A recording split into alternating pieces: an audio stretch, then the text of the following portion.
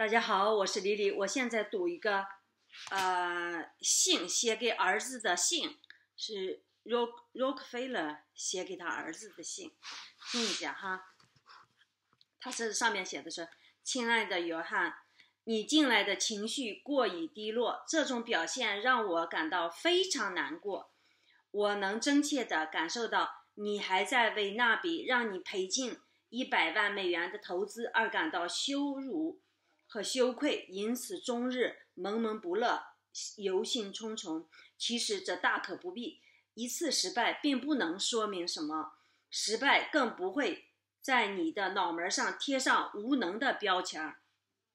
乐观起来，我的儿子，你需要知道，在这个世界上，任何人的一生都不可能自始至终的保持顺利，相反，却要时刻和失败比邻而居。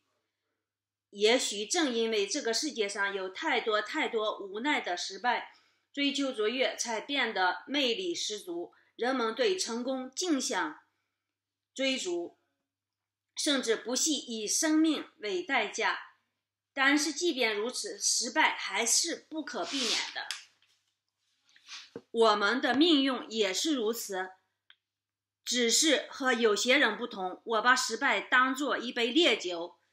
咽下去的是苦涩，吐出来的是精神。在我雄心勃勃进入商界，跪下来诚心祈求上帝保佑我们的新公司一路顺风之时，一场灾难性的风暴袭击了我们。当时我们签订了一笔合同，要购进一大批豆子，本来可以从中大赚一把。但没有想到，一场突然来访的霜冻击碎了我们的美梦。到手的豆子毁了一半，而且有时得行的供应商还在里面掺杂了沙土和细小的豆叶、豆结。这注定是一笔要做砸了的生意。但我知道，我不能沮丧，更不能沉浸在失败的痛苦当中，否则我就会离我的目标越来越远。天下没有白吃的午餐，更不可能一直维持现状。如果静止不动，就是退步。但要前进，必须乐于做决定和冒险。那笔生意失败之后，我再次向我的父亲借责，尽管我很不情愿这么做，而且为使自己在经营上胜人一筹，我告诉我的合伙人克拉克先生，我们必须。宣传自己，通过报纸广告，让我们的潜在客户知道我们能够提供大笔的预付款，并能提供供应大量的农产品。结果让人非常满意，胆识加勤奋拯救了我们。那一年，非但没有受豆子事件的影响，反而赚到了一笔可观的纯利。人人都厌恶失败，然而一旦避免失败变成你做事的动机，你就走上了怠惰无力之路，这样非常可怕，甚至是种灾难，因为这预示着你可能会丧失原本可能有的机会。儿子，机会是稀少的东西，人因因机会而发迹富有。看看那些穷人，你就知道他们不是无能的蠢材。他们也不是不努力，他们是苦于没有机会。你需要知道，我们生活在弱肉强食的丛林之中，在这里，你不是吃人，就是被人吃掉。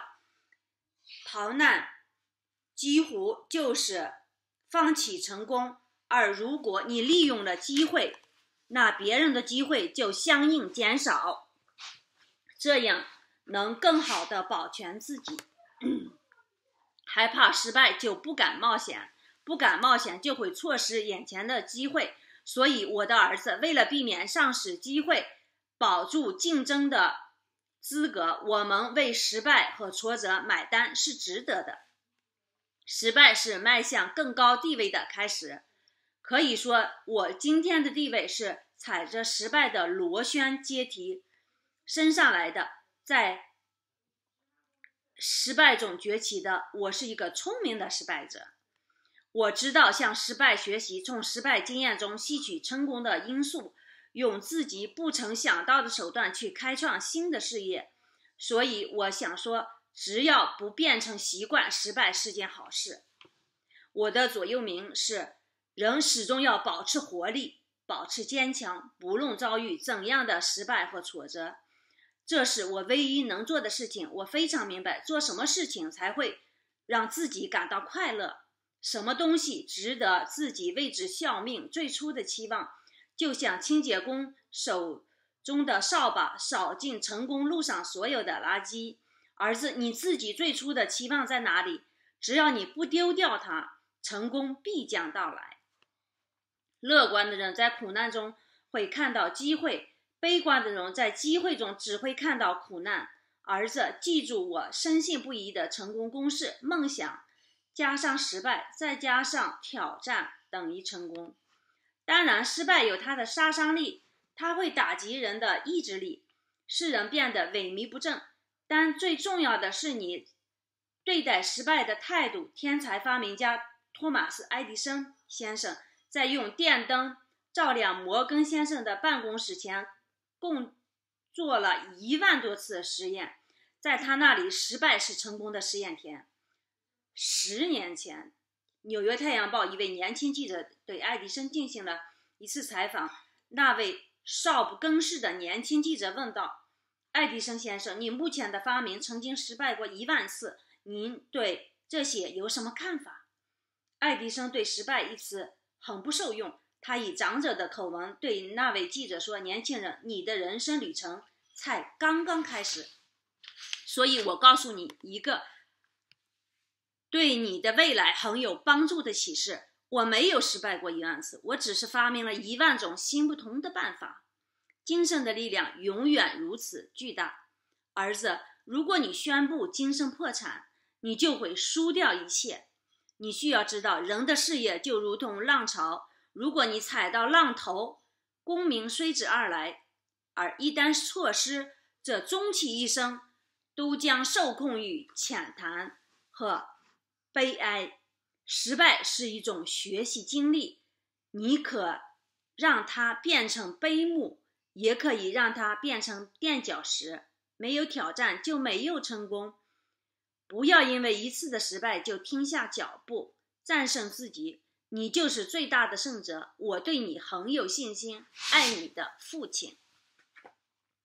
好，谢谢大家。希望你们 have a nice day. Bye.